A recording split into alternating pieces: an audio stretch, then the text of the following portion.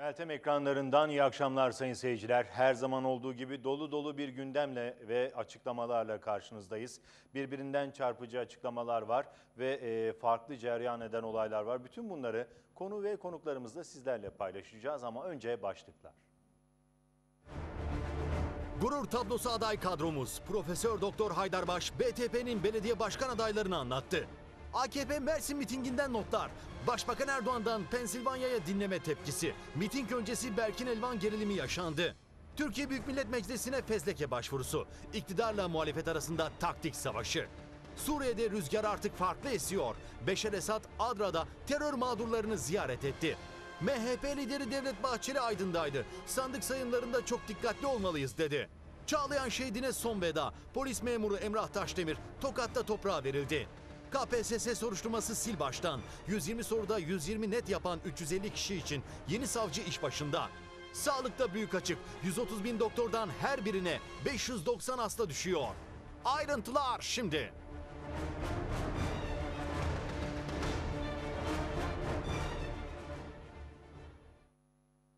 Sayın seyirciler, Bağımsız Türkiye Partisi Genel Başkanı Profesör Doktor Haydarbaş Partisi'nin belediye başkan adaylarını yazdı. Yeni Mesaj gazetesindeki yazısında Türkiye'mizin her ilinden, ilçesinden vatandaşlarımızın huzuruna çıkardığımız aday kadromuzla gurur duyuyoruz dedi Profesör Doktor Haydarbaş.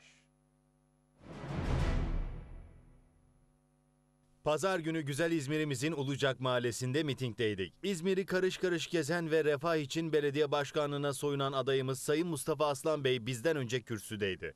Güçlü edebi yönüyle tarihi bir konuşma yapan Sayın Aslan, İzmirlilerin gönlünü fethetmeyi başarmıştır. Köşe bucak şehri arşınlayan Aslan'ın şehir için tasarladığı projeler gördük ki halkın arasında sıklıkla konuşuluyor. 20 yıl disk genel sekreterliği görevinde bulunmuş Mehmet Dinç Bey de İzmir Urla adayımız. Sayın Dinç, muhterem hanımıyla beraber 1800 haneyi tek tek gezerek milli ekonomi modelini anlatmışlar. Urla insanından BTP'ye destek sözü almışlar. Daha önce içinde bulunduğu siyasi ortamlardaki entrikalar nedeniyle siyasete küsen Sayın Dinç bizimle tanıştıktan sonra karanlıkları aydınlatan liderle tanıştım. Ben de karanlıktan aydınlığa çıktım diyerek Bağımsız Türkiye Partisi saflarındaki onurlu yerini bulmuştur. Sayın Mustafa Aslan ve Sayın Mehmet Dinç hakka hizmet için bu davada yerini almışlardır. Halkın teveccühüyle seçildiklerinde bu şehre çok şey kazandıracaklarına eminiz. Ankara Büyükşehir Belediye Başkan adayımız Profesör Doktor Atas Selçuk Bey de ilerleyen yaşına rağmen görünen o ki seçim sabahına kadar seçmeniyle buluşacak. Sayın Selçuk halk için belediyecilik anlayışıyla karış karış Ankara'nın mahallelerini, köylerini ziyaret ediyor ve milli ekonomi modelimizin uygulanacağı yeni belediyecilik anlayışını anlatıyor. İstanbul Büyükşehir Belediye Başkan adayımız sanayici Sayın Rıdvan Murat, halkın içinden gelen iş adamı kimliğini mühendislik bilgileriyle birleştirerek kronikleşmiş trafik problemini ve temiz su sorununu çözmek için geliyor. Keza Bursa Büyükşehir Belediye Başkan adayımız Avukat Şevket Tamaç Bey'in gelişen Bursa'mız için hayati önemde projeleri var. Bursa'da kuzey-güney hattını teleferikle birleştirerek trafik sorununu halledecek, şehir içi trafiğini tüp geçitlerle rahatlatacak. Kırsal alanlarda tarımsal alanlar açarak yeni yerleşim bölgeleri oluşturacak. Bursa'yı Ankara'ya ve İstanbul'a ulaştıracak hatları kara, deniz ve hava ulaşım araçlarıyla rahatlatacak.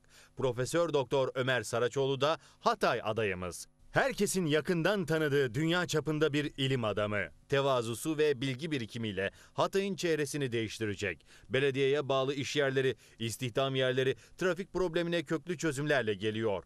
Akçabat adaylar arasında rakiplerine en az %50 oranında geçerek Akçabatlar arasında kabul gören Sayın Muharrem Bayraktar da projeleriyle öne çıkmıştır. Yayla suyunu şehre getirecek. Teleferik sistemiyle mahalleleri köylere bağlayacak. Kanal projesiyle ilçedeki işsizliği bitirecek. Otopark, huzurevi, aşevi ile halkın özlediği Akçabat'ı inşa edecek Sayın Bayraktar. Türkiye'mizin her ilinden, ilçesinden vatandaşlarımızın huzuruna çıkardığımız aday kadromuzla gurur duyuyoruz. Ve gittiğimiz her yerde bu kadronun farkını vatandaşlarımızdan dinliyoruz. Geçmişi temiz, cemiyette dürüstlükleri ve doğruluklarıyla parmakla gösterilen kimlikler, Atatürkçü, tam bağımsızlıkçı, devlet millet yanlısı, milli görüşlerle geliyorlar. Böyle özelliklere sahip bir kadronun günümüz şartlarında önemi daha da artmıştır. Kadromuz belediyecilikteki çözümleri ve projeleriyle de yepyeni bir sayfa açmıştır. Halkımızın bu hakikatin farkında olarak BTP ile kucaklaşması bizlere büyük bir gurur yaşatmaktadır. Profesör Doktor Haydar Baş AKP Mersin mitinginden notlar. Başbakan Erdoğan'dan Pensilvanya'ya dinleme tepkisi. Miting öncesi Berkin Elvan gerilimi yaşandı. Başbakan Erdoğan Mersin'de düzenlenen mitingde halka seslendi. Gündeminde yine muhalefet ve Pensilvanya vardı. Bu arada miting öncesi Berkin Elvan'ın öldürülmesini protesto eden grupla polis arasında arbede yaşandı. Başbakan Erdoğan partisince Mersin'de düzenlenen mitinge katılmak üzere Başbakanlığa ait özel ana uçağıyla Adana'ya geldi. Erdoğan ve eşi Emine Erdoğan daha sonra iki özel harekat helikopteri eşliğinde Mersin'e geçti.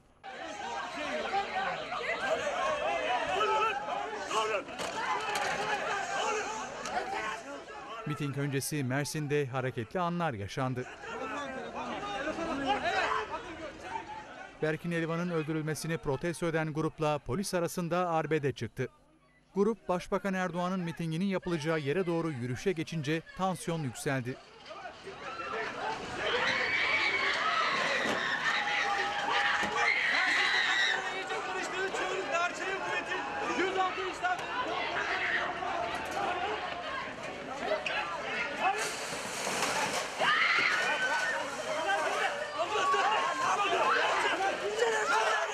Polis gruba müdahale ederek yürümelerine izin vermedi. Çıkan olaylar sırasında 5 kişi gözaltına alındı. Başbakan Erdoğan ise Mersin konuşmasında yine muhalefete ve Pensilvanya'ya yüklendi. Pensilvanya'daki zat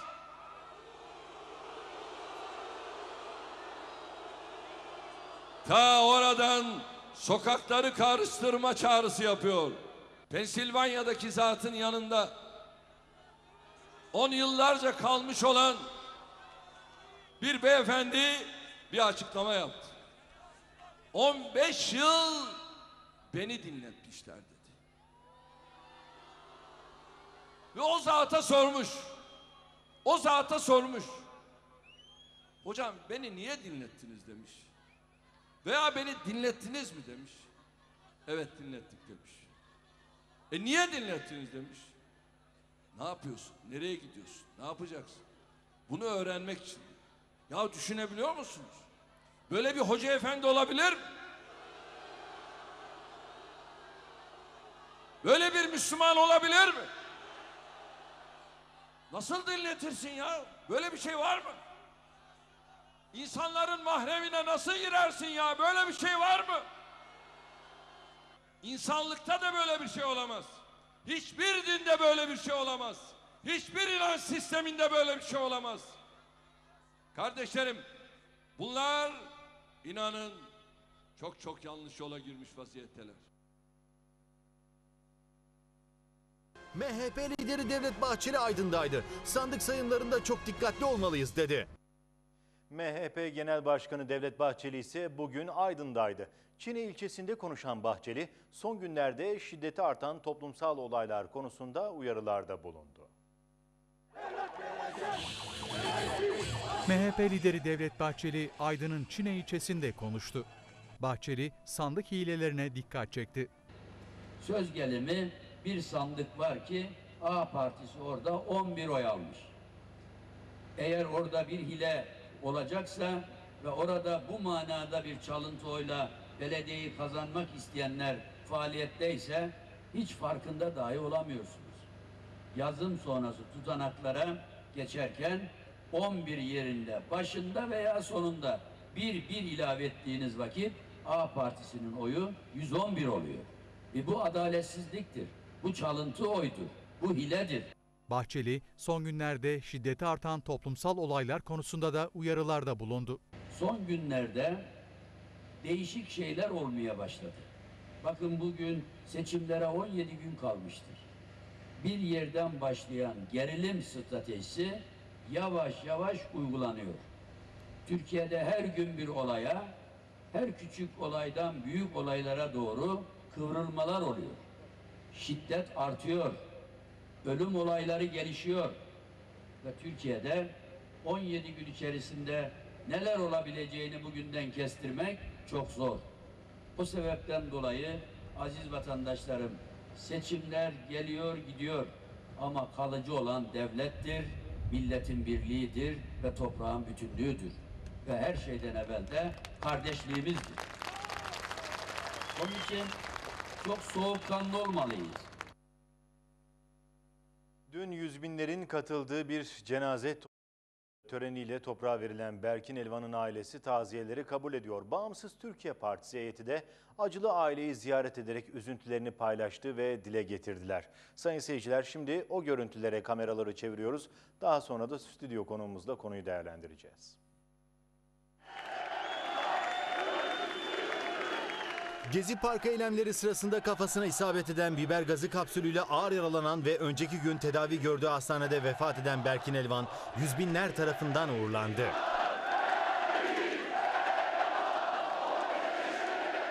...14 yaşındaki evlatlarını toprağa veren Elvan ailesi ise taziyeleri kabul ediyor. Bağımsız Türkiye Partisi heyeti de Elvan ailesine taziye ziyaretinde bulundu. Bu ekip genel başkan yardımcıları BTP heyetinde genel başkan yardımcıları Ahmet Hamdi Kepekçi, Mehmet Emin Koç, Harun Kayacı, Sabri Terzi, Fuat Şengül, Emre Polat, Selim Kotil ve Ali Haydar Şirin de yer aldı. Heyette bulunan ilahiyatçı Mehmet Emin Koç, Berkin Elvan'ın ruhu için Kur'an-ı Kerim okudu, dua etti. Bismillahirrahmanirrahim. الحمد لله رب العالمين. الرحمن الرحيم.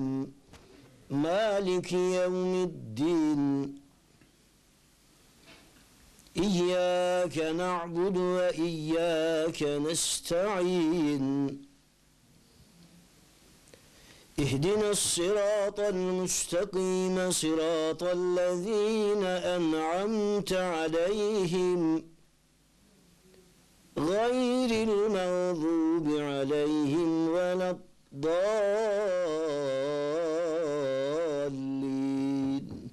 آمين. Amin. Esselatu vesselamu aleyke ya Resulallah. Salatu vesselamu aleyke ya Habiballah. Salatu vesselamu aleyke ya seyyidel evveline vel ahirin. Ve salavatullahi aleyhi ve alihim ecma'in. Ya Rabbel Kerim okuduğumuz Fatiha vesai sure-i celileleri, selavatları. Ya Rabbel Kerim senin rahmetine tevdi ettiğimiz Berkin kulunun ruhuna ibedik vasıl eyle. BTP Genel Başkan Yardımcısı Sabri Terzi ise Genel Başkan Profesör Doktor Haydarbaş'ın taziyelerini iletti. özellikle muhterem hocamın selamını getirdik. E, inanın kendi öz evladı gibi üzüldü bunu bilin yani. Trabzon'da olduğu için gelemedi. Programlarda dolayısıyla gelemedi. Yani Berkin bizim kardeşimiz, sizin evladınız ama bizim kardeşimiz. Bunu böyle canı gönülden inanın yani. Biz bir kardeşimizi kaybettik. Onun da acısıyla e, inşallah son olsun. Milletimiz ayıksın. Biz bunu da dua ediyoruz. Milletimiz inşallah ayıkmasına da vesile olur. Çünkü bazen bir can gider ama binlerce can ayıkır ve binlerce can hidayete erer. İnşallah ayıkıp da e, bu katliamlara sebep olan zihniyetin de dönüşümüne vesile olmasını Cenab-ı Hak'tan temenni ediyoruz. Başınız sağ olsun tekrar. Evet sayın seyirciler ziyaret görüntüleri böyleydi. Tüm Türkiye Berkin'in ailesinin eee, acısını paylaşıyor ve 14 yaşında bir çocuk hayatını kaybetti bu noktada. Acı ve elin bir olay tüm Türkiye yasa boğuldu ve geniş çapta olaylar da yine bu noktada çıktı. Sağduyu çağrıları yapılıyor. Biz bu noktada hemen stüdyo konuğumuz Selim Kotil Bey'e e, kameraları çevireceğiz. Sayın Kotil hoş geldiniz efendim. Hoş bulduk. Ee, Sayın Kotil kısa ve öz olarak hemen sormak istiyorum. Berkin'in acılı ailesini ziyaret ettiniz. Acılarını paylaştınız, üzüntülerinizi dile getirdiniz ve bu olayları nasıl değerlendiriyorsunuz? Bizim nasıl değerlendirmemiz gerekir? Öncelikle eee Berkin'i Allah'tan evladımıza rahmet diliyorum. Allah eee, kıyamet günü Peygamber Efendimizin eee, ümmeti olarak Ehli Beyt'in yanında onu haşreylesin. Eee, ve saniyen acılı anne babasına, dedesine, yakınlarına Cenab-ı Hak'tan sabır diliyoruz. Bugün Profesör Doktor Haydar Başbey'in, Bağımsız Türkiye Partisi Genel Başkanımızın, e, Genel Başkanımızın adına e, Genel Başkan Yardımcıları olarak e, acılı aileyi ziyaret ettik ve e, başsağlığı dileklerimizi ilettik. Şimdi tabii e, oradaki manzarayı ben izleyicilerimize paylaşmak istiyorum. Öncelikle olayın nasıl cereyan ettiğini acılı baba kendi ağzıyla anlatıyor. O gün diyor evdeyim diyor. E, ben biraz diyor uzandım. E, hanım da diyor bir kahvaltılık bir şeyler hazırlıyor içeride diyor. Yemek yapıyor diyor. Evde ekmek yok. E, hanım da ayağından rahatsız diyor eşim. E, dışarıda patırtı gürültüler var. O bir iki gündür diyor gaz bombasından geçilmiyor diyor. Evlere hapsolmuşuz diyor. E, Berkin de diyor ki anne diyor sen dışarı çıkma diyor. Hem ayağın rahatsız hem de diyor e, bir şey olursa diyor sen diyor kaçamazsın diyor koşamazsın diyor. Ben diyor hemen gider çabucak diyor ekmeği al, ekmek alıp gelirim diyor. Gidiş o gidiş çocuk ve e, direkt kafasına gaz bombası isabet ediyor. Yani bu gaz bombası havaya atılır. Bu direkt e, bu doğrultudan yani yukarıdan gelmiyor. Direkt mermi atar gibi atılıyor ve gencecik bir evladımızı kaybediyoruz. Bu bir defa cinayettir. Yani bunun ötesi berisi yok. Bu bir cinayettir. Masum bir evladımızın katledilmesidir. Bunu yapan, buna vesile olan, katkıda bulunanın hükmü aynıdır. Bunların tamamı bir insanı öldüren bütün insanlığı öldürmüş gibidir. Şimdi başbakan çıkıp diyor ki işte ben diyor çaldım mı, adam mı öldürdüm diyor. Bir hayra vesile olan onu işlemiş gibidir. Bir şerre vesile olan onu işlemiş gibidir. Şimdi bakın e, oraya gittiğimizde karşılaştığımız manzara şu. Burası İstanbul'un göbeği. Ana caddeden aşağı doğru iniyoruz. Gidiş gelişli çift yönlü cadde. Yol kapanmış. Dükkanlar kepenk indirmiş. Devasa çift gidiş gelişli cadde. Ee, önünde büyük bir çevik kuvvet barikatı. Barikatı aşıyorsunuz. ilerliyorsunuz. 50 metre sonra elektrik direkleri yıkılmış. Arkasında bir ateş. 50 metre daha gidiyorsunuz. Bir elektrik direği daha iki taraftan yıkılmış. Arkasında yine lastikler yanıyor. İniyorsunuz. Arkada gençler barikat kurmuş bekliyorlar. Şimdi e, bunu gördüğüm zaman insan şunu diyor. Burası İstanbul. İstanbul'un göbeği ve gündüz vakti. E, siyasi iktidar şu anda resmen bilerek ya da bilmeyerek Türkiye'yi bir Yugoslavya gibi parçalanma sürecin içine sokmuştur. Anda Türkiye, Yugoslavya gibi bu yaptıklarının adı ben kimsenin niyetini sorgulamıyorum. Ama yapılanın karşılığı Türkiye'nin Yugoslavya gibi parçalanmasıdır. Bakın bugün Türkiye'nin birçok yerinde efendim değişik isimlerde AKP yandaşı olan birçok kişi seçim bürolarını tartaklıyor, yıkıyor, döküyor, kırıyor ve bir gerginlik, bir savaş ortamı oluşturmaya çalışıyor. Bugün bakıyoruz işte e, iki tane seçim bürosu CHP'nin, benim kuzenin orada aleni olarak polislerin önünde giriyorlar. Kasımpaşa 1453 diye bir grup giriyor, kırıyor, döküyor. Efendim kameralara poz veriyor, yakıyor, çıkıyor ve gidiyor. Şimdi öyle bir uygulama var ki e, yani bir gerginlik, bir savaş ortamı. Bağımsız Türkiye Partisi'nin efendim Nevşehir'deki adayı İkbal Hanım'a efendim sokak gezerken AKP'lerin yaptıklarını seyrediyoruz. Hem de kapalı bir bayana. Şimdi şunu demek istiyorum. Burada enteresan bir şey var. Bir, bu olaylarda öldürülenlerin tamamı Alevi. Birileri bu ülkede Alevi-Sünni çatışması oluşturmak istiyor. İki, şu anda siyasi iktidar e, adeta bir seçimi kavga zeminine taşımak, kavga çıkartmak istiyor. İşte bakın haberlere falancanın seçim arabasını taşlamışlar. Kim? AKP yandaşları. Şimdi bu ne demek? Ne ol, yani ne yapılmak isteniyor? Şimdi ne yapılmak isteniyor? Madde madde önümüze koyduğumuz zaman bir, Türkiye şu anda bir iç savaşın içine getirilmek isteniyor. İktidar eliyle bilerek ya da bilmeyerek Türkiye şu anda bir parçalanma sürecin içine itildi. E zaten sen af adı altında. Yani şimdi Güneydoğu'da terör bitti mi? Dağdaki terörist şu anda şehre indi. Gidiyorsunuz 10 metre polisin e, kimlik kontrolü var. 50 metre sonra dağdaki terörist yolda şehirde kimlik kontrolü yapıyor. Tablo budur. Şimdi Türkiye öyle bir noktanın içine doğru itiliyor ki seçim öncesi ve bunun siyasi iktidar sürekli bu olayı geriyor. Adeta benim anladığım şimdi siz basına yansıyan anketleri bırakın. Evet. Basına yansımayan reel anket. TRT'nin yaptığı ankette AKP %89.5 çıkıyor zaten. 90 çıkıyor. Ya bunları geçin. Realiteye baktığınız zaman adeta siyasi iktidar AKP seçim istemiyor. Şurada AKP seçim istemiyor. Şu anda bir karışıklık çıksın, ortalık karışsın. Uygulaması bu, tavrı bu. Ve e, bir başka noktada dikkat ederseniz Türkiye'nin gündemi bir anda değiştirilmeye çalışıyor. Şimdi Trabzonspor seyircisi bugün Profesör Haydar Başbey'in yazdığı çok önemli bir yazı var. Fenerbahçe Trabzon olayı sıradan bir olay değildir. Trabzon seyircisi sahaya inmedi. Evet. Bir provokatif grup sahaya iniyor. Ondan önce efendim nokta atış yapan keskin nişan- nişancılar var. Bir grup sahaya iniyor.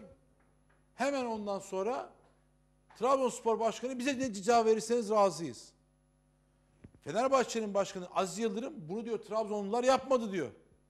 Yani bugün yeni mesajdaki Profesör Doktor Haydar Başbey'in dediğini Aziz Yıldırım şimdi söylüyor. Diyor ki onlar yapmadı ki diyor.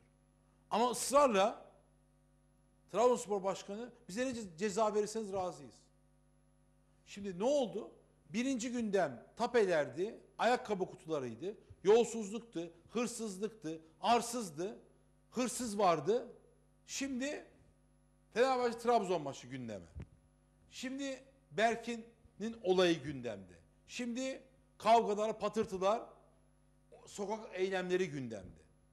Yani birileri halkın gözünün önünden ayakkabı kutularını, hırsızlıkları, arsızlıkları, gemicikleri saklamak istiyor. Onun yerine bunları saklamak için ne olacak? Tribünler karışsın, karışsın. Millet sokağa dökülsün, dökülsün. Türkiye Yugoslavya gibi olsun, olsun. Yani bu olay sıradan bir olay değil. Siyasi iktidar yanlış yapıyor. Dış güçler Türkiye'ye bir iç kargaşa oluşturmak istiyorlar. Seçim öncesi e, ben buradan bizi izleyen bütün izleyicilerimize Sayın Profesör Haydar Başbey'in yıllardan beri söylediği birlik ve beraberlik, kardeşlik çağrısı yapıyorum. Alevisi, Sünnisi, Lazı, Kürdü, Çerkezi biz tek bilek, tek yürek olmak zorundayız. Askeri, sivili, polisi, memuru orada ölen orada ölen genç evladımız bizim evladımızdır. Tunceli'de kalp krizi geçirerek ölen polis de bizim evladımızdır. Bunlar bizim evlatlarımız. Bizim kardeşlerimiz. Birileri rant uğruna, siyaset uğruna milleti birbirine katmasın. Diyorum efendim. Çok teşekkürler Sayın Kotil. Siz e, çok sık tekrarladığınız e, bir şeyi bugün tekrar altını çizdiniz ve kritik cümlelerle sağduyu çağrısını bir analizle beraber yapmış oldunuz. Sağ olun.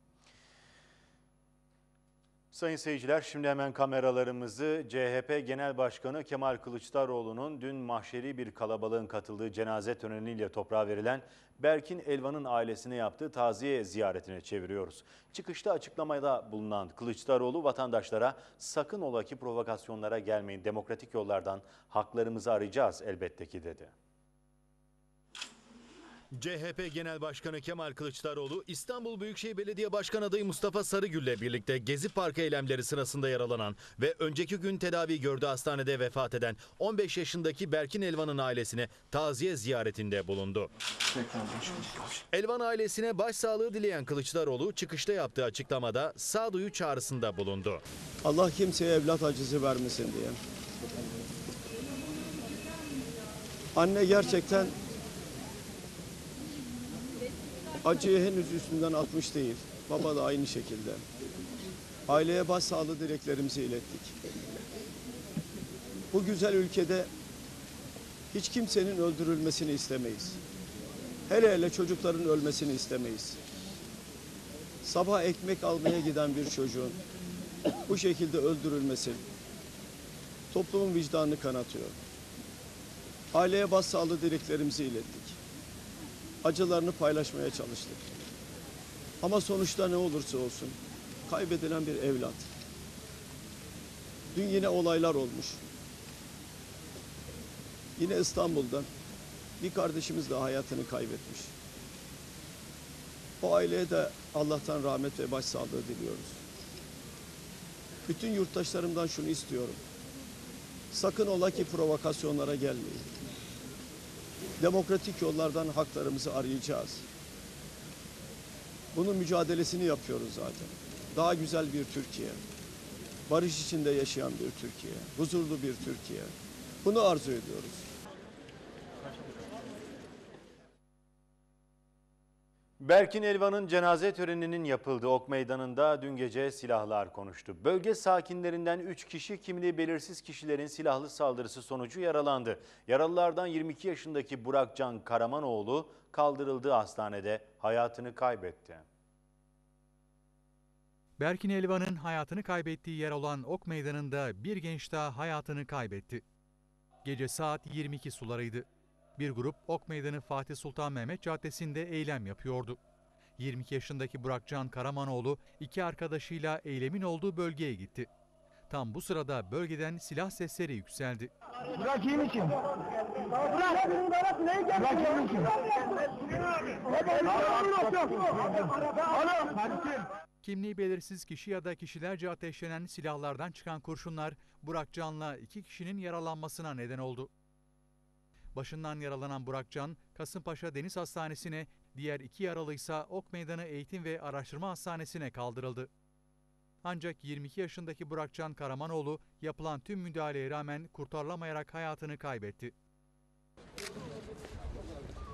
Talihsiz gencin cenazesi savcının incelemesinin ardından otopsi için Adli Tıp Kurumu'na gönderildi. Ölen gencin babası Halil Karamanoğlu, oğlunun cenazesinin hastaneden çıkarıldığı sırada gözyaşlarına boğuldu. Baba nereye bıraktın yedi yavrum? Tamam. Da cenazeyi bekliyorlar. Tamam. Baba nereye Ben de, bıraktın Kamil sen yedi ben de gel. Gelsin 2-3 kişi gelsin. Gel. Baba Karamanoğlu, Adli Tıp Kurumu önünde gazetecilere dün gece yaşananları anlattı. 22 yaşında, 22 yaşında genç çocuk. Merak edip bakıyorlar. E, gidiyorlar üç tane arkadaşıyla beraber. Karanlık tabii, zifiri karanlık. Mermi nereden geliyor? Olduğu yere yıkılıyor.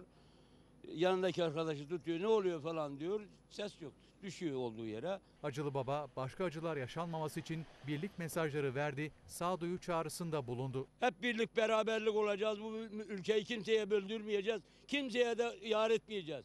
Biz Türk'üz, biz elhamdülillah Müslümanız. Bu ülkeyi Türkiye'den başka kimse idare edemez. Türk'ten başkası idare edemez. Çağlayan şehidine son veda. Polis memuru Emrah Taşdemir Tokat'ta toprağa verildi. Sayın seyirciler dün gece bir acı haber de Tunceli'den geldi. Berkin Elvan'ın ölümünü protesto eden gruba müdahale eden polislerden biri kalp krizi geçirerek şehit oldu. Tunceli'de Berkin Elvan'ın ölümünün ardından önceki gün başlayan protesto gösterileri dün gece de devam etti.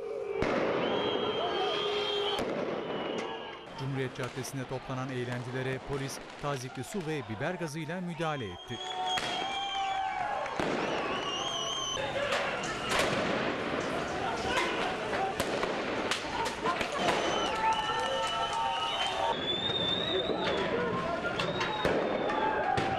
Polislerden 30 yaşındaki Ahmet Küçük da Shortland tipi araç içerisinde kalp krizi geçirdi. Meslektaşları tarafından Tunceli Devlet Hastanesi'ne kaldırılan polis memuru yapılan tüm müdahaleye rağmen kurtarılamayarak şehit oldu.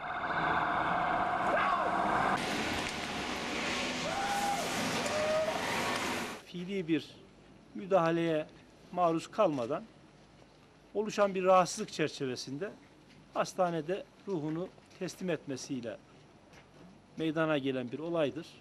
Acı haberi alarak hastaneye koşan şehit polisin 8 aylık eşi sinir krizleri geçirdi.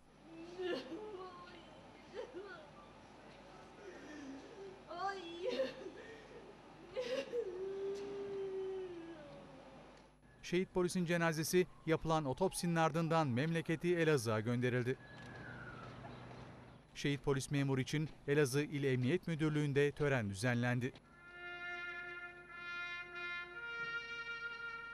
Törende şehidin 8 ay önce hayatını birleştirdiği eşi Gülşah Küçükdağ büyük üzüntü yaşadı.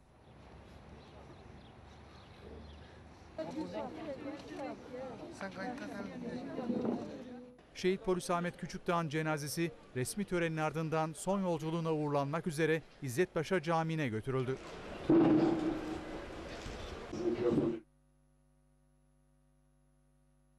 Sayın seyirciler ve bir başka haber. İstanbul Adliyesi'nde silahlı saldırı sonucu şehit olan polis memuru Emrah Taşdemir memleketi Tokat'ta son yolculuğuna uğurlandı.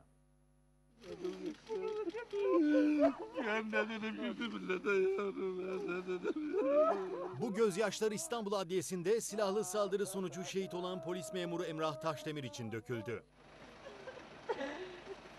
Şehit polis memurunun naaşı sabah saatlerinde karayoluyla memleketi Tokat'a götürüldü. Şehidin al bayrağı sarılı tabutu baba evinin bulunduğu Turhal ilçesine bağlı Ulu Öz köyüne götürüldü. Şehidin naaşının gelmesiyle köyden hıçkırık sesleri yükseldi. Helallik alınmasının ardından cenaze omuzlarda köy camiine götürülerek musalla taşına konuldu. Burada şehidin erkek kardeşi ve annesi tabuta sarılarak gözyaşlarına boğuldu. CHP 4 eski bakan hakkında hazırlanan fezlekeleri görüşmek üzere Türkiye Büyük Millet Meclisi'ni olağanüstü toplantıya çağırdı. Bu konuda iktidarla muhalefet arasında tam bir taktik savaşı da yaşanıyor. Cumhuriyet Halk Partisi 17 Aralık yolsuzluk ve rüşvet operasyonunun ardından görevlerini bırakmak zorunda kalan 4 eski bakan hakkında hazırlanan fezlekeleri görüşmek üzere Türkiye Büyük Millet Meclisi'ni olağanüstü toplantıya çağırdı. Mecliste basın toplantısı düzenleyen CHP Grup Başkan Vekili Akif Hamza Çebi, meclisin 18 Mart Salı günü saat 15'te olağanüstü toplanması için dilekçe verdik dedi. Antalya, Abdurrahman Arıcı. CHP, fezleke gündemli olağanüstü toplantı konusunda MHP ve BDP'de destek veriyor. Meclisi toplantıya çağırma yetkisi ise Başkan Cemil Çiçek'te. Şu an 26 Mart'ta tabiatıyla meclis toplanacak ama ondan evvel arzu varsa bunun iş tüzüğümüzde e, nasıl olacağı bellidir. Bir talep olduğu takdirde de biz gereğini yaparız. Bu konuda iktidarla muhalefet arasında tam bir taktik savaşı yaşanıyor. Hükümet kanadı seçim arifesinde mecliste yolsuzlukların konuşulacağı bir toplantı yapılmasını istemiyor. Çankırı'da konuşan Adalet Bakanı Bekir Bozdağ, fezlekeler konusu maalesef Türkiye'de iç siyasetin malzemesi yapıldı. Yerel seçimlere katılacak siyasi partiler bunu alet olarak kullanıyorlar dedi. CHP İstanbul Büyükşehir Belediye Başkan adayı Mustafa Sarıgül kin ve nefret dönemini, sevgisizlik dönemini bitireceğiz. İstanbul'da barış, özgürlük ve demokrasi kazanacak dedi. CHP İstanbul Büyükşehir Belediye Başkan adayı Mustafa Sarıgül seçim çalışmalarına Çatalca'da devam etti. Çatalca meydanını dolduran vatandaşlara seslenen Sarıgül, İstanbul'da kim ve nefret dönemini, sevgisizlik dönemini bitireceğiz dedi. Bizim en büyük arzumuz Türkiye'de, İstanbul'da kin dönemini, nefret dönemini, sevgisizlik dönemini bitireceğiz. İstanbul'da barış dönemi, özgürlük dönemi, İstanbul'da inşallah demokrasi kazanacak. Çatalca'daki taş ocaklarının etrafa zarar verdiğini anlatan Sarıgül şöyle konuştu. Baktım, taş ocakları paramparça etmiş. Çatalca'ya gelirken baktım, o doğa, o çevre Çatalca'ya yakışıyor mu? Çatalca'ya gelirken baktım, 20 yıldır İstanbul'u yöneten, söylemek istemiyorum, İstanbul'u yönetenlere burada seslenmek istiyorum. Siz o doğayı atalarımızın, dedelerimizin, ecdatlarımızın bize bıraktığı o güzellikleri ne hale getirdiniz? Ve burada şunu ifade etmek istiyorum. Mart, Nisan seneye Allah'ın kısmet olursa Ekim ayında ağaçları dikme mevsiminde ilk anlamı gördüğümüz olayları Çatalca'nın sağ tarafı ağaçtan böyle Allah'ım bize müsaade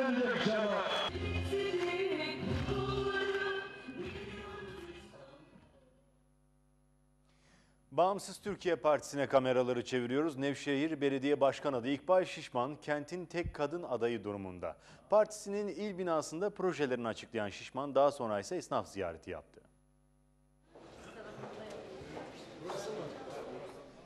Bağımsız Türkiye Partisi Nevşehir'de eğitimci yazar İkbal Şişman'ı aday gösterdi. Oylarınızı bekliyoruz. Merhaba nasılsınız? Bu durum bir anda Nevşehir'in gündemine oturdu. Zira BTP adayı İkbal Şişman kentin tek kadın adayı olma özelliğini taşıyor. Ee, Ben Nevşehir'in kadınlarını arkama aldım. Ee, ve inanıyorum onların desteğiyle de belediye başkanı olup Nevşehir için gereken e, ne hizmet varsa elimizden geldiğince yerine getireceğiz. Şişman, Genel Başkan Yardımcısı Selim Kotil ile birlikte il başkanlığında basın toplantısı düzenleyerek projelerini açıkladı. Nevşehir'de gerçek anlamda projesi olan tek partiyiz. Kadınlarımıza Nevşehir'de el emeklerini, evde yaptıkları ev ürünlerini, bu reçel olabilir, e, mantı makarna olabilir, dantel olabilir. Bunları pazarlayabilecekleri kapalı bir pazar alanı. Haftanın belli günlerinde bu pazar alanını ücretsiz olarak yararlanabilecekler. Biz bayanlar için sadece bayanlara özel bir sosyal tesis ama bu e, büyük bir tesis olacak. İçinde yüzme havuzu, kafeteryaları, restoranları, hatta kreşleri yani bir anne çocuğuyla küçük çocuğuyla birlikte oraya geldiği zaman orada çocuğunu kreşine bırakacak, misafirlerini alacak, havuza girecek, restoranında gidip yemeğini yiyecek, okuma salonunda gidip kitap okuyacak. Çevre e, köylerdeki çiftçilerimizi, köylülerimizi tarım yapmaları noktasında özellikle de organik tarım noktasında destekleyeceğiz. Belediye olarak kooperatifler oluşturacağız ve o köylülere biz aracı olacağız. Ellerindeki ürünleri hak ettikleri fiyatla alıp Nevşehir halkına bunu biz pazarlayacağız.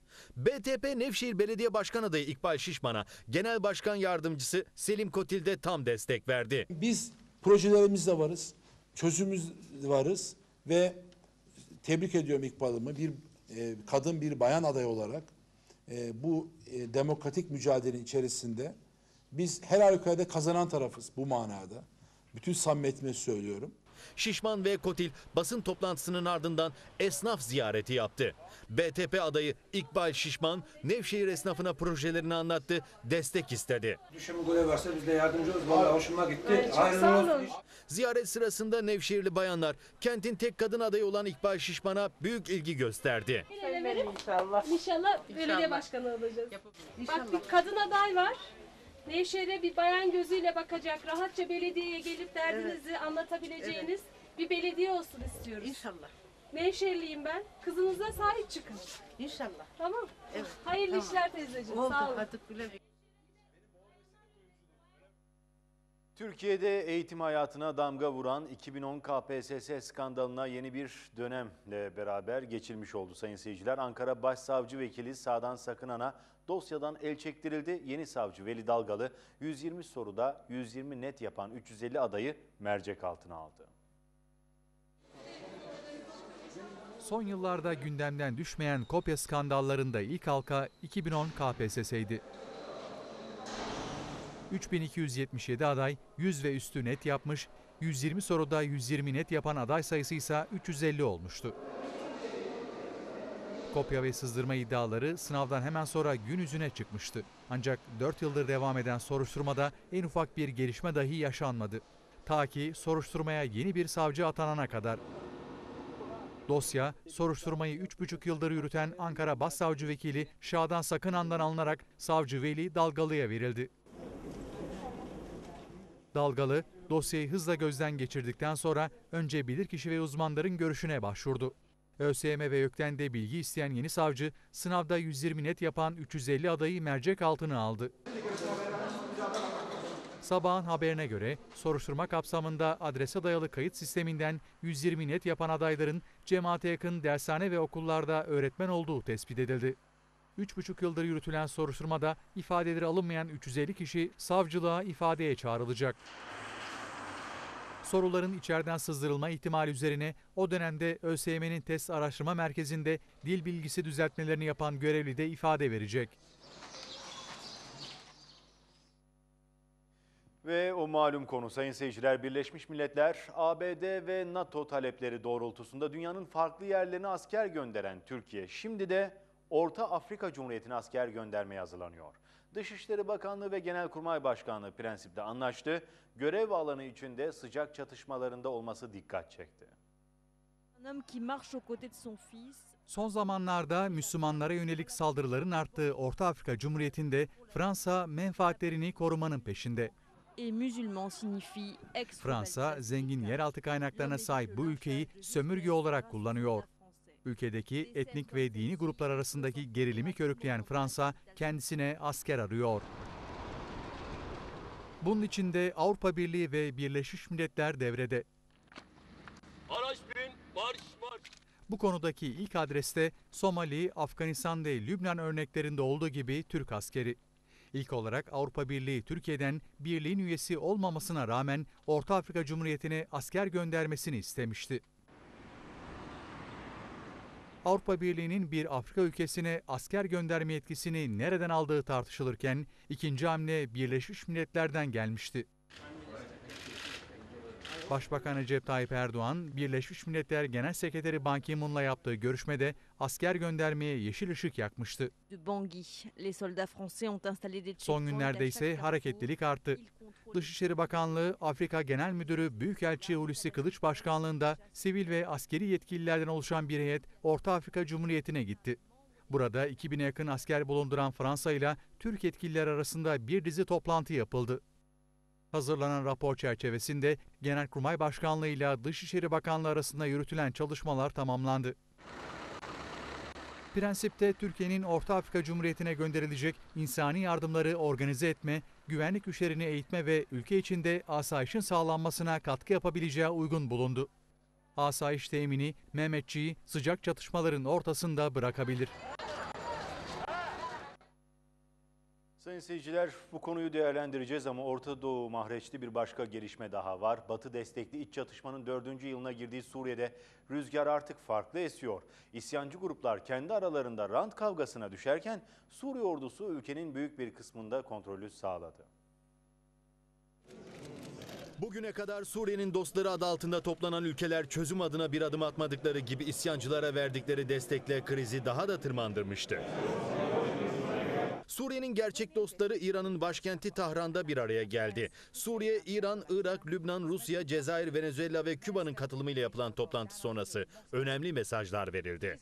8 ülkenin parlamento dış siyaset komisyonu başkanları Suriye içindeki teröristlere silah sevkiyatının engellenmesini istedi. Ortak bildiride Suriye krizinin siyasi yollardan çözümlenmesi, terörizmle mücadele ve insani yardımların yapılması zaruretine vurgu yapıldı. İsyancılara verdikleri her türlü desteğe rağmen amaçlarına ulaşamayan Batı'dansa yeni itiraflar geldi. Amerikan CIA Teşkilatı Başkanı Brennan, Suriye ordusunun savaş alanındaki ilerlemelerine değinerek Beşar Esad'ın morali eskisine göre daha yüksek dedi. Halkın desteğini arkasına alan Beşar Esad ise terör mağdurlarını ziyaret ediyor.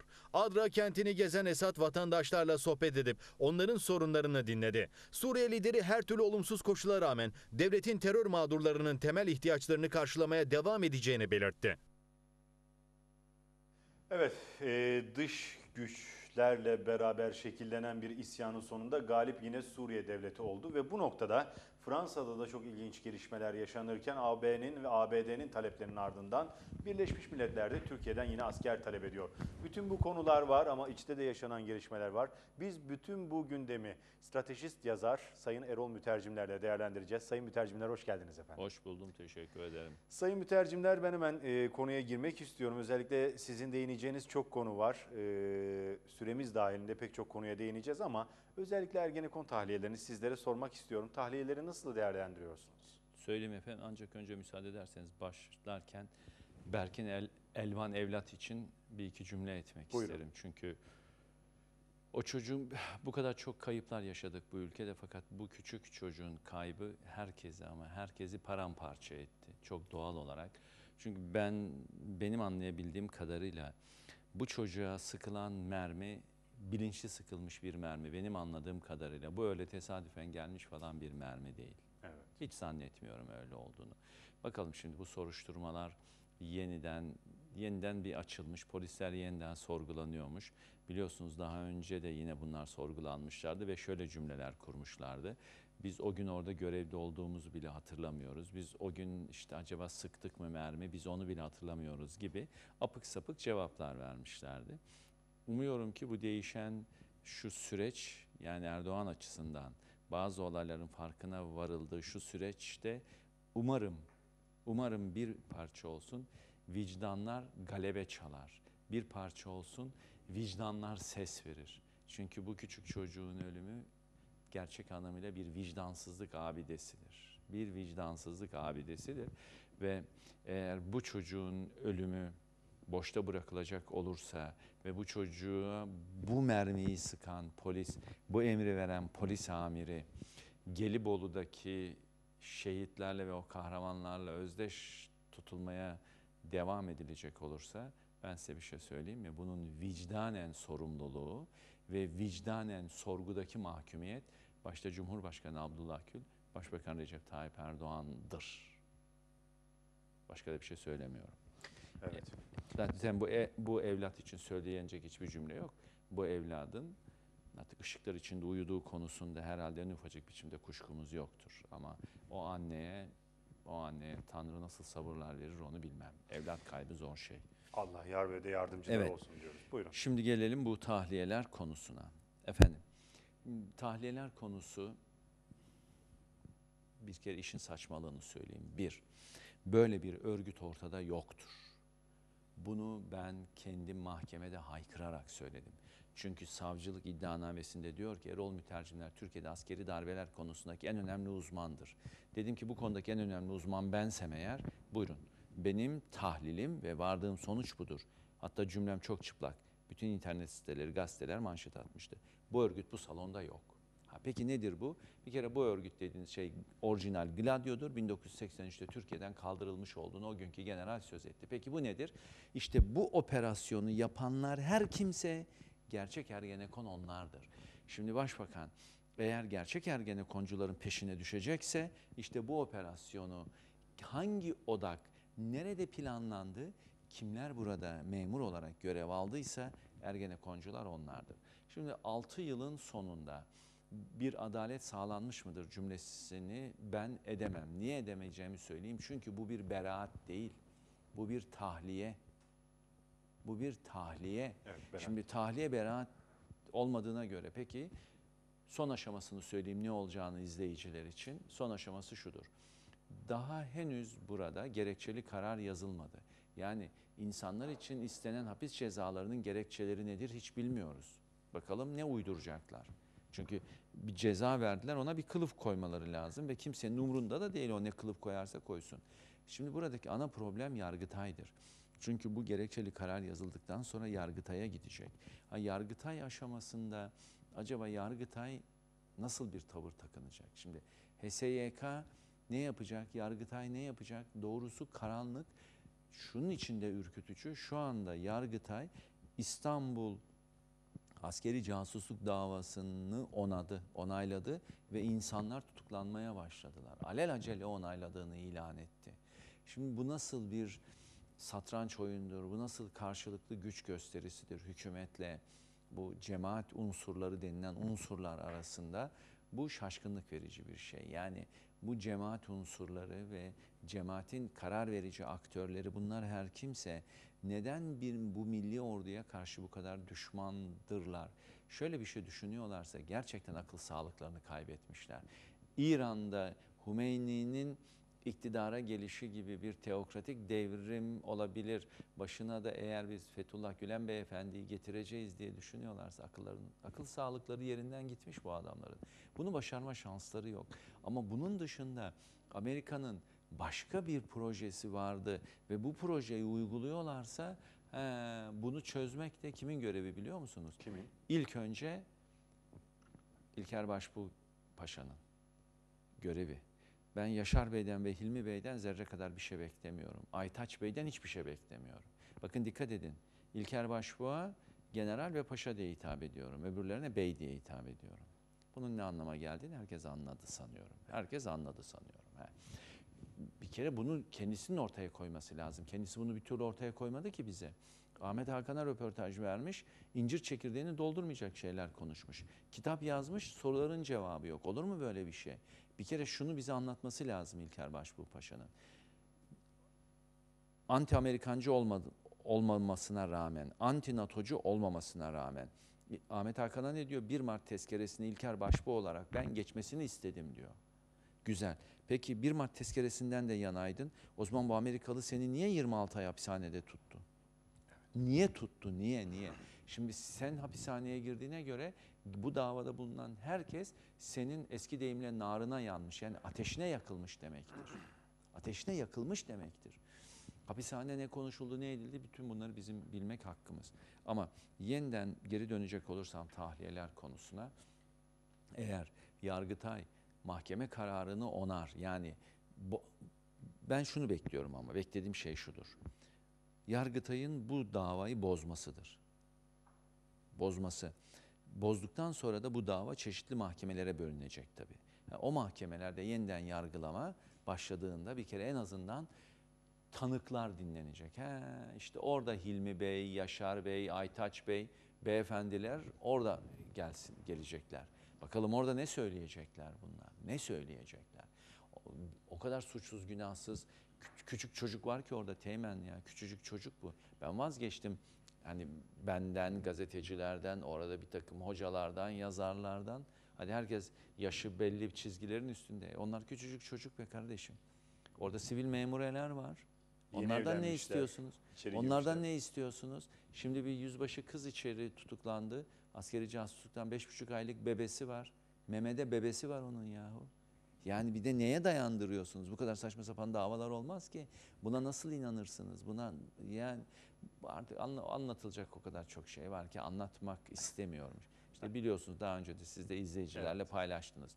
Eğer çok istiyorlarsa işte yazmış olduğum kitap Büyük Kumpas Ergenekon. Herkes açsın onu okusun. Okumakla da kalmasın Faruk Beyciğim. Okumakla da kal- Torunlarına bırakılması lazım o kitabın. Torunlar onu okumalılar ki ne olup ne bitmiş onu görmeli. O kitap bence vasiyet bırakmalılar. Torun bunu oku diye. Evet. Torun bunu oku. Bak bu ülke adaletsizlik, hukuksuzluk abidesi olmuş, bir örnek olmuş. Utanç verici bir şey. Onun için bunun sonunda ne olur sorusunun gerçekten cevabı yok. Söylediğim gibi iki olasılık var. Ya Yargıtay'da bunu onayacak, yeniden herkes hapishaneye atacaklar. Tamam mı? İşte yasa değişmiş bilmem ne olmuş, cezalar yeniden nasıl hesaplanır falan onları hiç bilmem. Karma karışık bir iş o. İkincisi de doğru olan da Yargıtay'ın bunu bozmasıdır. Bunu bozmasıdır. Bozsun, yeniden yargılama yapılsın ama mahkeme heyetleri de yeniden seçilmelidir. Peki e, bir diğer konuyu daha sizlere sormak istiyorum. Dünya yeniden şekilleniyor ve bu biz bu şekildeki yerimizi çok farklı bir şekilde alıyoruz diyeyim. Ancak iki aynı e, kelimeyi söyleyerek tarif edebiliriz belki de. Çünkü Fransa'ya asker mi olacağız Fransa'nın çıkarları için Orta Afrika Cumhuriyeti'nde ve oradaki Müslim azınlığa karşı? Şimdi bakınız orada bir, her zaman için şöyle bir kılıf vardır. İnsani yardım amaçlı olarak Türk askeri oradadır. Bu kılıftır. Bu kılıfa uygun olarak Büyük Millet Meclisi'nden dışarıya asker gönderme yetkisi alırsınız. Ve Orta Afrika Cumhuriyeti'ne de yine bu kılıf çerçevesinde götüreceğiz. İnsani yardım organize etmek, işte hastane yani sağlık ekiplerimiz orada bulunacak ve iç asayişi sağlama konusunda da yardımcı olacak. Kime karşı? NATO birliklerinin içinde yer alacak. Kime karşı? Avrupa'da belirlemiş olan Avrupa'nın buraya gönderme konusunda karar vermiş olduğu birliklere. Tabii burada şöyle bir şey olmaz. Türk Silahlı Kuvvetleri mensupları Fransız Silahlı Kuvvetleri ile birlikte hareket edecek. İşte onun yanında yardımcı olarak gidecek. Şimdi bu, bu olmaz. Demin söylemiş olduğum gibi nasıl Somali'ye biz gönderdiysek, Çevik Bir'le, Orgeneral Çevik Bir'le gönderdiysek ki son derece de başarısız olmuştur. Yazmış olduğu anıların bir kısmı da doğru değildir maalesef. Maalesef doğru değildir. Başarısız olunmuştur. E, Afganistan'ın durumu farklıdır. Afganistan'da Türk askerine bir büyük sempati vardır. Onun için Türk askerinin orada burnu kanamamıştır. Ama Orta Afrika Cumhuriyeti'nde bunun hiç garantisi yoktur. Çünkü Orta Afrika Cumhuriyeti'ndeki kişilerin Türkiye'ye ay yıldıza falan bayrağa saygı göstereceklerini, hürmet göstereceklerini düşünülürse burada büyük hata yapılır. Oradaki Mehmetçiğin herhangi birisinin hiç böyle bir şeyi talep etmem tabii. Hiç talep etmem. Eğer bayrağa sarılı tabut bu ülkeye gelirse bunun karşılığı nasıl ödenir yahu? Ne diyeceksiniz o çocuğun annesine siz? Türkiye'nin hangi çıkarı için bu çocuk oradaydı? Fransızların çıkarını korumak için. Fransızların oradaki uranyum madenine ulaşması için biz gönderdik. Mehmetçik orada şehit oldu. Kore için de aynı şeyi söyleyebilir miyiz? Fi? Efendim gayet tabii ki Kore'ye gönderdik evlatları. Ha neydi orada amaç? Türkiye'nin NATO'ya aldırılması. Aldırılması. E orada 750 şehitimiz var. 750 şehitimiz var. Yani bu Kore meselesi de abuk sabuk. Bu Kore ile ilgili bir küçük anım var benim. İşte ben doğmuşum. Türk askeri orada. Babaannem benim için şöyle ninni söylüyormuş. İşte büyüsün de asker olsun, gitsin Kore'de şehit olsun. Babaanne. Babaanne yapma gözünü seveyim. Afrika için de böyle düşünebiliriz hocam. Aynen öyle. Afrika Afrika için mi evlat büyüttüler? Afrika için mi evlat büyüttüler? Böyle, böyle saçma sapan şey olur mu? Saçma sapan şey olur mu? Ha, Türkiye'nin ulusal çıkarları olur. Bizim kendi silahlı kuvvetlerimiz gayet tabii ki gider orada şehit olursun kardeşim görev uğruna. Diyorsun dersin ki ülkem adına. Ha burada görev yapmışım. Ha bu sınırda görev yapmışım. Ha gitmişim ülkemin sınırı genişlemiş orada yapmışım. Ama sen Fransızlar için lejyoner olarak görev yapacaksın. Bu akıl alacak bir iş değil. Ha. Ama bir tek şey iyi anlatılabilir. Efendim Türk askeri evet gidecek Afrika'da görev yapacak. Bu görev onun bilgi birikimine büyük katkıdır. Buna katılırım. Yani eski bir subay olarak buna katılırım. Doğrudur. Gidecek orada bilgi sahibi olacak, görgü sahibi olacak. Bazı teknolojileri tanıyacak. Orada çok farklı kültürde insanlarla ilişki ve iletişim kurabilmeyi öğrenecek. İle- kriz iletişimini öğrenecek gibi çok şey söyleyebiliriz. Kendine donanım katabilir. Evet çok şey söyleyebiliriz. Ama buradaki amaç öyle bir şey değil ki. Biz bitirirken de müsaade edersen Buyurun. 30 saniye Buyurun. şu KPSS sınavı için bir konuşmak buyurun, isterim. buyurun. Bu bir büyük rezalet. KPSS yetişkinlerin sınavıdır. 120'de 120 soruyu 350 kişinin yaptığını söylüyorlar. Tövbe billah. 120'de 120 soruyu 3,5 kişi yapsın.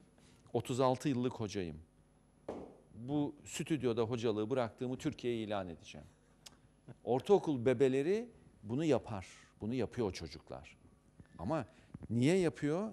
Bu beyin, zihinsel kapasite. Affedersiniz bunlar eşek kadar adamlar ya. Bunlardan bunu bekleyemezsin. Olmaz. Eşyanın tabiatına aykırı. Yani dimağının da bir yaşı var? Eşyanın tabii 350 kişiden söz ediyorsunuz. 120 de 120 yapmış. La havle. Türk eğitim öğretim sistemi belli kardeşim. Geri dönsün bunların üniversite sınavlarında kaç puan aldıklarını bana anlatsınlar. Üniversite mezuniyet puanlarını anlatsınlar bir de bana. Ha ben o zaman bakayım. Bunlar 120'de 120 yapar mı yapamaz mı? Ha bu ne demektir? Bu sorular verilmiş. Onun için savcı değişikliği doğru karar. Çok teşekkürler sayın mütercimler. Pek çok konuyu değerlendirmiş olduk. İki konu seçmiştik ama bütün bir gündemi sizlerle paylaştık sayın seyirciler. Sayın mütercimler de değerli vaktinden yine bizlere zaman ayırarak stüdyolarımıza konuk olan isimlerdendi. Sayın seyirciler tekrar buluşuncaya dek iyi akşamlar diliyorum. Hoşçakalın.